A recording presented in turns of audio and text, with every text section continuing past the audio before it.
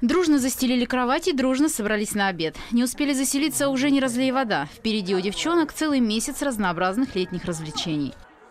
Я первый раз в лагере. Я очень волнуюсь, потому что я здесь практически ничего не знаю. Конкурсы бывают, мероприятия, концерты, э, дискотеки. В лагере лето это значит, что э, всегда праздник. Праздник души и праздник в лагере. Все радуются. Не, не то, что а, одна группа радуется, например, первая группа, а другая, тринадцатая, сидит. Ну, мы все начинаем праздник устраивать, а не поодиночке. Я рассчитываю, что вы наберетесь сил, и здесь будет интересно с началом лета. Старт летней оздоровительной кампании «Дан». В эти каникулы в Прикаме организованно отдохнут 270 тысяч детей, сообщил губернатор Виктор Басаргин. В загородный лагерь «Новое поколение» только что заехали 400 ребятишек. Глава региона оценил условия, созданные для них. К новому сезону в лагере готовились практически с конца прошлого лета.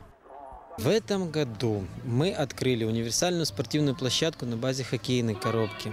Открыли тренажерный комплекс, открытый на спортивном поле. Построили еще одну русскую баню. Сделали капитальный ремонт и заменили всю аппаратуру в зрительном зале. Открыли дом творчества. Спортивные вдоволь позанимаются спортом, увлеченные наукой тоже найдут занятия по душе. Впрочем, с такими шахматами легко совместить то и другое.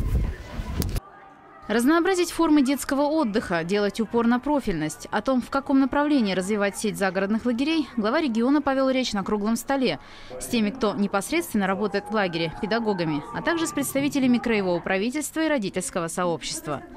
По итогам губернатор Виктор Басаргин поручил вице-премьеру Надежде Кочеровой провести полную инвентаризацию всех объектов, которые могут быть использованы в качестве базы для оздоровления детей поднять доступность вот летнего оздоровления для детей э, совершенно на другой уровень, э, чтобы появились лагеря круглогодичные, э, чтобы была возможность организовывать какие-то профильные группы.